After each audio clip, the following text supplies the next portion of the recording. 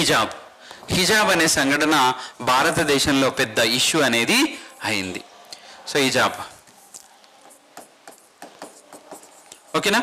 So హిజాబ్ అంటే ఏంటంటే ఒక హెడ్ స్కార్ప్. హిజాబ్ అనేది ఏంటి బేట? ఒక హెడ్ స్కార్ప్. అర్థమవుతుందా? ఇక్కడ ముస్లిం మహిళలు ధరించేటువంటి ముస్లిం బాలబాలికలు కానీ మహిళలు కానీ ధరించేటువంటి ఒక ఎడ్స్కార్ప్నే మనం ఏమంటున్నామంటే హిజాబ్ అని చెప్తా ఉన్నాం. ఓకేనా? ఇక ముస్లిమ్స్ సో ఇక్కడ తల భాగం తల భాగం అనేటువంటి కనబడుతూ హెడ్ను కవర్ చేస్తూ హెయిర్ను కవర్ చేస్తూ ఉండేదాన్ని హిజాబ్ అంటారు.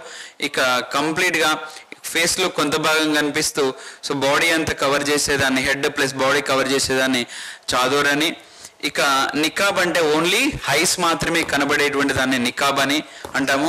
ముస్లిం మహిళలు ఓన్లీ ఐస్ మాత్రమే కనబడే విధంగా డ్రెస్ చేసుకోవడాన్ని నికాబ్ అంటాము. ఇక బుర్కా అంటే సో ఒక తెర అనేటువంటిది కళ్ళు చూడడానికి ఒక తెర అనేటువంటిది ఉంటుంది. మొత్తం బాడీ అంతా సో కవర్ చేయబడి ఉన్నటువంటి దాన్ని మనం బుర్ఖా అని చెప్తాం. ఓకేనా?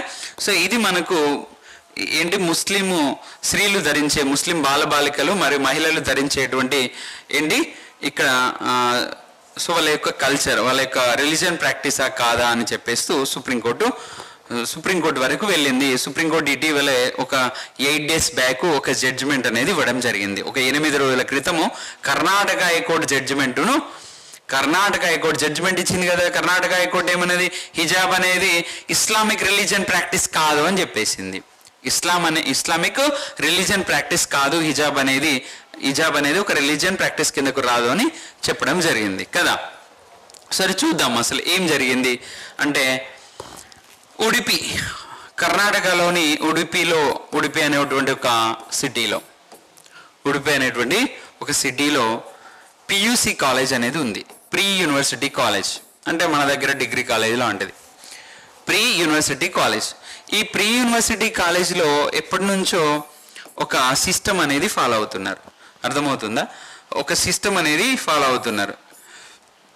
కర్ణాటక ఎడ్యుకేషన్ యాక్ట్ ప్రకారము కర్ణాటక విద్యా హక్కు చట్టం ప్రకారము. సో ఆ విద్యా హక్కు చట్టంలో ఉన్న సెక్షన్స్ ప్రకారము స్కూల్స్లో ఒక ఏంటి? డ్రెస్ కోడ్ అనేటువంటిది యూనిఫామ్ కోడ్ లేదు డ్రెస్ కోడ్ అనేటువంటి పెడితే అందరు కూడా అలాంటి అలాంటి దాన్ని అనుసరించాలి అని చెప్పేస్తూ కర్ణాటక హైకోర్టు కర్ణాటక ప్రభుత్వం ఒక చట్టం అనేటువంటిది తీసుకురావడం జరిగింది. రైట్ ఎడ్యుకేషన్ యాక్ట్లో ఈ విషయాన్ని పేర్కొన్నది. అయితే సో ఎప్పటి నుంచో పియూసీ కాలేజ్ అంటే ప్రీ యూనివర్సిటీ కాలేజ్లో ఈ సిస్టమ్ అనేది ఉంది. అంటే ఎవరైనా కూడా క్లాస్ రూమ్ వరకు కూడా క్లాస్ రూమ్ వరకు కూడా ఇజాబ్ అనేది ధరించి రావచ్చు. తర్వాత క్లాస్లోకి వచ్చిన తర్వాత ఇజాబ్ అనేటువంటి ధరించడానికి వీల్లేదు. సో ఆ హెడ్ స్కార్ఫ్ అనేది తీసి తీసివేయాలనే రూల్ అనేది ఉండేది. అయితే ఈ ప్రీ యూనివర్సిటీ కాలేజీలో ఒక ఆరుగురు అమ్మాయిలు ఒక ఆరుగురు అమ్మాయిలు ఈ హెడ్ స్కార్ఫ్ ధరించుతూ రావడం జరిగింది. సో దాని కాలేజ్ యాజమాన్యం వ్యతిరేకించింది. వ్యతిరేకించడంతో ఈ ఆరుగురు అమ్మాయిలు six members six members Muslim అమ్మాయిలు "మీ లేదు లేదు మేము ఇది ఈ ఇజాబ్ అనేటువంటిది మా యొక్క ఇస్లామిక్ ప్రాక్టీసు కాబట్టి మా మతాచారానికి వ్యతిరేకంగా మీరు సో మా పైన ఆదేశాలు జారీ చేయడం ఏంటి అంటూ పియూసి కాలేజ్ అంటే ప్రీ యూనివర్సిటీ కాలేజ్ పైన సో వ్యతిరేకంగా వాళ్ళు ఏం చేశారు? సో కొన్ని నినాదాలు చేయడం జరిగింది. అండ్ వీళ్ళేమో అక్బ అల్లాహు అక్బర్ అని తర్వాత హిందూ హిందూ కం- సంబంధించినటువంటి స్టూడెంట్స్ హిందూ రిలీజన్కి సంబంధించిన స్టూడెంట్స్ ఏమో జై శ్రీరామ్ అని చెప్పేస్తూ హిందూ రిలీజన్కి సంబంధించినటువంటి వాళ్ళేమో సో ఈ పింక్ కలర్లో సారీ ఈ కాషాయ వస్త్రంలో ఆరెంజ్ కలర్లో ఉన్నటువంటి కొన్ని కండువాలు ధరించి రావడము ఇదెంత పెద్ద వివాదమైంది. సో ఇక్కడ హిందువులేమో జై శ్రీరామ్ అని ఈ ముస్లిం ముస్లిం స్టూడెంట్స్ ఏమో అ- అక్బర్ అని ఇలా పెద్ద ఈ దుమారం అంతా ఉడిపి ఉడిపు అనే ప్లేస్ నుంచి కాస్త దేశం మొత్తం స్ప్రెడ్ అయింది. సో దేశం మొత్తం స్ప్రెడ్ అవ్వడంతో ఇదంతా కోర్టుకు వెళ్ళింది. కర్ణాటక కోర్టుకు వెళ్ళింది. సో కర్ణాటక కోర్టుకు వెళ్తే ఏం జరిగిందో చూద్దాం. రెండు వేల ఇరవై రెండు కర్ణాటక పియూసీ కాలేజ్ ఇష్యూ ఇదంతా కూడా సో కర్ణాటక కోర్టుకు పోయింది. కర్ణాటక కోర్టు ఫిబ్రవరికి వెళ్ళింది. జడ్జిమెంట్ కూడా ఇచ్చేసింది. రెండు వేల ఇరవై రెండులో జడ్జిమెంట్ వచ్చేసింది. జడ్జిమెంటులో కర్ణాటక కోర్టు ఏమని జడ్జిమెంట్ ఇవ్వడం జరిగింది అంటే లేదు లేదు ఈ హిజాబ్ అనేటువంటి వివాదం ఏదైతే ఉందో హిజాబ్ అనేటువంటి ఈ హెడ్ స్కార్ఫ్ ఏదైతే ఉందో ఇది ఇస్లామిక్ యొక్క రిలీజియన్ ప్రాక్టీస్ కిందకు రాదు అని చెప్పేస్తూ కర్ణాటక హైకోర్టు జడ్జిమెంట్ ఇవ్వడం జరిగింది. యాక్చువల్గా ఫ- కర్ణాటక హైకోర్టులో కేసు వేశారు. కర్ణాటక హైకోర్టులో కేసు వేస్తే కర్ణాటక హైకోర్టు ఫస్ట్ ఏం చేసిందంటే ఫస్ట్ ఫస్ట్ మీరు ఎవరైనా కానీ సో మీ సాంప్రదాయాల ప్రకారంగా రావడానికి వీల్లేదు అని చెప్పేసి ఫస్ట్ అయితే ఒక ఆంక్షలు విధించింది. Karnataka high court.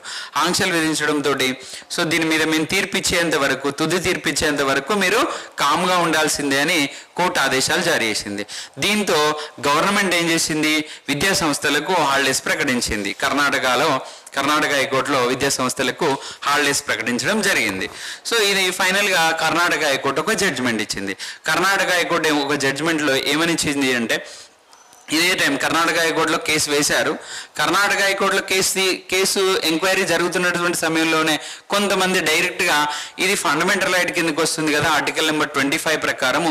ఇది మా రిలీజియన్ ప్రాక్టీస్ కింద ప్రాక్టీస్కి సంబంధించిన అంశం కదా అని సుప్రీంకోర్టులో కూడా కొంతమంది కేసు వేశారు. సుప్రీంకోర్టు ఏమన్నదంటే ఫస్ట్ కర్ణాటక హైకోర్టు హైకోర్టులో తేల్చుకుని రండి. కర్ణాటక హైకోర్టు జడ్జిమెంటు ఇచ్చిన తర్వాత దానిపైన మేము ఫైనల్గా జడ్జిమెంట్ ఇస్తాము. ఫస్ట్ అయితే మీరు కర్ణాటక హైకోర్టులో కేసు వేసుకోండి. కర్ణాటక హైకోర్టు జడ్జిమెంట్ ఏమి ఇస్తుందో దాన్ని పట్టుకొని మేము సో దానిపైన దాన్ని ఆధారంగా చేసుకొని మళ్ళీ మేము జడ్జిమెంట్ ఇస్తాము. కానీ ఫస్ట్ అయితే మీరు కర్ణాటక హైకోర్టునే వెళ్ళండి ఆల్రెడీ కర్ణాటక హైకోర్టులో కేసు వేశారు. సో కర్ణాటక హైకోర్టు జడ్జిమెంట్ ఇవ్వడం జరిగింది. ఏమని జడ్జిమెంట్ ఇచ్చింది? హిజాబ్ అనేది రిలీజియన్ ప్రాక్టీస్ కిందకు రాదు అని చెప్పేస్తూ. ఆర్టికల్ నెంబర్ ట్వంటీ ఫైవ్ కిందకు రాదు అని చెప్పేస్తూ సుప్రీంకోర్టు జడ్జిమెంట్ ఇవ్వడం జరి కర్ణాటక హైకోర్టు జడ్జిమెంట్ ఇవ్వడం జరిగింది. ఈ కర్ణాటక హైకోర్టు జడ్జిమెంట్ నచ్చినటువంటి వాళ్ళు ఇక్కడ సుప్రీంకోర్టులో కేసు వేశారు. కర్ణాటక హైకోర్టు జడ్జిమెంట్ ఏమని ఇచ్చింది? హిజాబ్ అనేది రిలీజియన్ ప్రాక్టీస్ కిందకు రాదు అని చెప్పేస్తూ ఒక జడ్జిమెంట్ అయితే ఇవ్వడం జరిగింది. సో ఆ జడ్జిమెంట్ను బేస్ చేసుకొని కర్ణాటక హైకోర్టులో కేసు జడ్జిమెంట్ నచ్చిన వాళ్ళు సుప్రీంకోర్టులో కేసు వేశారు. సుప్రీంకోర్టు ఏం చేసిందంటే ఇద్దరితో కూడిన ఒక ధర్మాసనాన్ని ఏర్పాటు చేసింది. అర్థమవుతుందా? సో టూ మెంబర్స్ బెంచ్ని ఏర్పాటు చేసింది. ఎన్ని మెంబర్స్ బెంచ్ని టూ మెంబర్స్ బెంచ్ని ఏర్పాటు చేసింది. ఆ two members bench just eight days back ఒక జడ్జ్మెంట్ ఇవ్వడం జరిగింది. అంటే ఏంటి బిడ్డ ఎయిట్ డేస్ బ్యాక్ అంటే అక్టోబర్ ఫిఫ్టీన్త్ ఆ టైం ఆ సమయంలో ఒక జడ్జ్మెంట్ అనేది వచ్చేసింది. ఈ జడ్జ్మెంట్లో టూ మెంబర్స్ బెంచ్తో ఉన్నటువంటి ఈ ఈ ఏదైతే ధర్మాసనం ఉందో సో ఆ ధర్మాసనంలో ఒకరు హేమంత్ గుప్తా అనే వ్యక్తి ఇంకొకడు ఇంకొకరు ఎవరు అంటే సుదర్శు దూలియా సుధాంశు సుధాంశు దులియా అనేటువంటి ఇంకొకరు ఉన్నారు. ఈ సుధాంశు దులియానేమో కర్ణాటక హైకోర్టు తీర్పును కర్ణాటక హైకోర్టు ఇచ్చినటువంటి తీర్పును వ్యతిరేకించగా హేమంత్ గుప్తానేమో కర్ణాటక హైకోర్టు తీర్పును సమర్థించారు. అంటే దీన్ని బట్టి మనకి ఏమర్థమవుతుంది? సుప్రీంకోర్టు జడ్జిమెంట్లో ఇచ్చినటువంటి దానిలో ఒకరేమో హిజాబ్ను సమర్థిస్తే కర్ణాటక హైకోర్టు జడ్జిమెంట్ను సమర్థిస్తే మరొకరేమో కర్ణాటక హైకోర్టు జడ్జిమెంట్ను వ్యతిరేకించారు. సో వాళ్ళ జడ్జిల పేర్లు కూడా ఇక్కడ మనం గుర్తుపెట్టుకుందాం. ఒకటి ఏంటి? హేమంత్ గుప్తా కేసు. రె- హేమంత్ గుప్తా అనేటువంటి జడ్జి ఇంకొకరు సుధాంశు దులి దూలియా. సుధాంశు దూలియా అనేటువంటి ఇంకొకరు జడ్జి ఉన్నారు ఓకేనా? సో ఇది మనకు ఆర్టికల్ నెంబర్ ట్వంటీ ఫైవ్కి సంబంధించినటువంటి అంశం. Twenty five twenty six twenty five and twenty సిక్స్కి సంబంధించినటువంటి అంశం. సో ఇప్పుడు సుప్రీంకోర్టు ఏమని జడ్జిమెంట్ ఇచ్చింది? అంటే ఈ టూ మెంబర్స్ బెంచ్లో ఒకరేమో పాజిటివ్గా ఒకరేమో నెగిటివ్ అంటే మీన్స్ కర్ణాటక హైకోర్టు జడ్జిమెంట్కు సమర్థిస్తూ ఒకరు. ఎవరు? Hemant Gupta. Positive judgement negative judgement అనేది కాదు ఇక్కడ కానీ కర్ణాటక హైకోర్టు జడ్జిమెంట్ సమర్థించిందేమో హేమంత్ గుప్తా. ఇక కర్ణాటక హైకోర్టు జడ్జిమెంట్ని వ్యతిరేకించిందేమో సో దూలియా సుధాంశు దూలియా. ఓకేనా? సో ఇప్పుడు ఏమైంది మరి ఇక్కడ అంటే తీర్పు వచ్చేసింది కదా. ఈ తీర్పు అనేది బ్యాలెన్స్డ్గా ఇవ్వబడి అంటే మీన్స్ ఇక్కడ ఒకరేమో సమర్థించారు ఒకరేమో వ్యతిరేకించారు. ఇప్పుడు మెజారిటీస్లా మెజారిటీస్ లా రావాల- రావాలంటే త్రీ మెంబర్స్ బెంచ్ని ఏర్పాటు చేయాలి. ఎవరు ఏర్పాటు చేయాలి? ఈ మెంబర్స్ బెంచ్ ధర్మాసనాన్ని అయినా ఏర్పాటు చేయాలి? అర్థమవుతుంది? రాజ్యాంగ ధర్మాసనం అంటే five members bench five members కంటే ఎక్కువ బెంచ్ ఏర్పాటు చేయాలి. ఫైవ్ మెంబర్స్ కంటే ఎక్కువ బెంచ్ అయినా ఏర్పాటు చేయాలి. దాన్ని మన రాజ్యాంగ ధర్మాసనం కాన్స్టిట్యూషనల్ బెంచ్ అని పిలుస్తాము. ఇక ముగ్గురినైనా ఏర్పాటు చేయాలి. అది ఏర్పాటు చేయాల్సింది ఎవరు? అది ఏర్పాటు చేయాల్సింది ఎవరు అంటే supreme court chief justice present supreme court chief justice ఎవరు? డివై చంద్రచూడ్. సో యాభైవ చీఫ్ చీఫ్ జస్టిస్గా పనిచేస్తున్నాడు కదా. ఎవరు? డివై చంద్రచూడ్ అనే వ్యక్తి. ఆ డివై చంద్రచూడ్ నిర్ణయం తీసుకోవాలి. అర్థమవుతుందా? డివై చంద్రచూడ్ అనే వ్యక్తి నిర్ణయం తీసుకోవాలి. ఏమని? త్రీ మెంబర్స్ బెంచ్ని ఏర్పాటు చేయాలా? ఇజాబ్ వివాదం పైన లేదా రాజ్యాంగ ధర్మాసనం? అంటే ఫైవ్ మెంబర్స్ కంటే ఎక్కువ బెంచ్ని ఏర్పాటు చేయాలి. ఫైవ్ మెంబర్స్ లేదా ఫైవ్ మెంబర్స్ కంటే ఎక్కువ బెంచ్ని ఏర్పాటు చేయాలని నిర్ణయం తీసుకోవాలి. సో అలా నిర్ణయం తీసుకున్న తర్వాత మళ్ళీ ఆ ధర్మాసనం పూర్తి విచారణ జరిపిన తర్వాత ఈ తీర్పు రావాలి. తీర్పు వచ్చిన తర్వాత అది హిజాబ్ అనేది రిలీజియన్ ప్రాక్టీసా లేదా కాదా అనే అంశం ఫైనల్గా తేలుతుంది. ఓకేనా?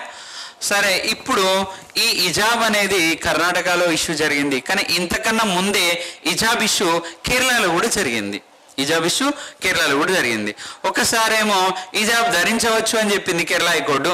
తర్వాత ఇంకొకసారేమో ఇజాబ్ ధరించడానికి వీలు లేదు ఒక పర్సనల్ పర్సనల్ లిబర్టీ కన్నా ఈ సొసైటీ లిబర్టీ మాకు ముఖ్యం. వ్యక్తిగత స్వేచ్ఛ కన్నా ఈ ఇక్కడ భారత సొసైటీ యొక్క స్వేచ్ఛనే మాకు ముఖ్యమని ఇంకొక కేసులో జడ్జిమెంట్ ఇవ్వడం జరిగింది. సో దానికి సంబంధించిన ప్రీవియస్ కేసెస్ చూద్దాం మనం.